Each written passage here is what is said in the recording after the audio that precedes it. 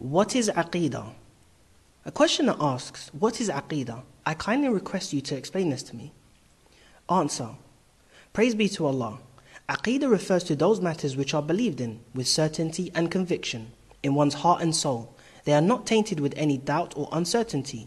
The Arabic word aqidah stems from the root aqada, which conveys meanings of certainty, affirmation, confirmation, etc.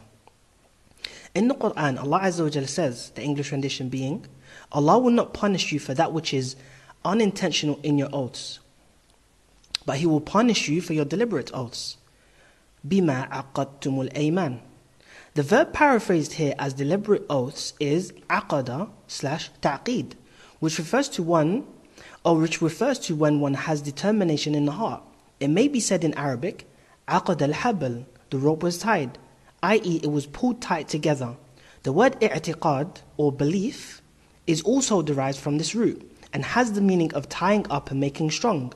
The phrase a'taqadtu kada, I believe such and such, means I am convinced of it in my heart.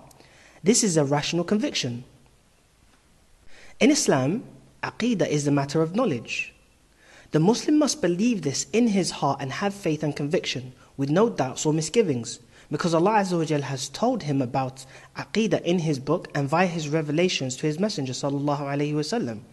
The principles of Aqidah are those which Allah has commanded us to believe in, as mentioned in the ayah, the English rendition being, The messenger believes in what has been sent down to him from his Lord, and so do the believers.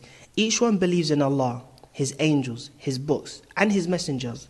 They say, We make no distinction between one and another of His messengers. And they say, We hear and we obey, and we seek your forgiveness, our Lord, and to you is a return. And as defined by the Prophet ﷺ in the famous hadith which describes how Jibril came to him and asked him about Islam.